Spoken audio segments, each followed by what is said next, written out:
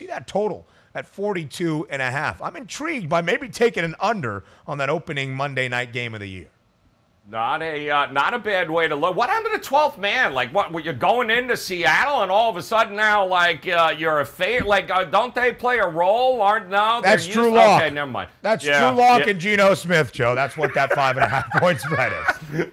Uh, you know what? Denver is so interesting to me because I really yeah. there's so much new there it's kind of hard to look at Russell Wilson and what he's accomplished in Seattle with, you know, with that coaching staff and Pete Carroll and everything else and those players and go, oh, okay, it's just he's, you know, he's gonna he's gonna start off and they're gonna be so great right out of. I don't.